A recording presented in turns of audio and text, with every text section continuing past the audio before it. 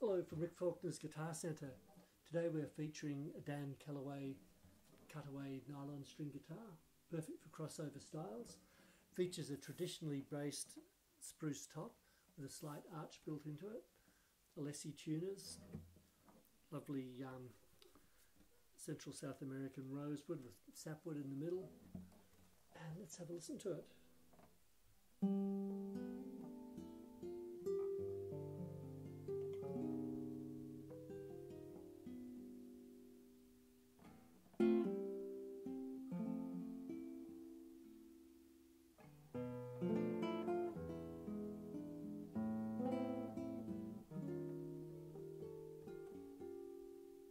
you.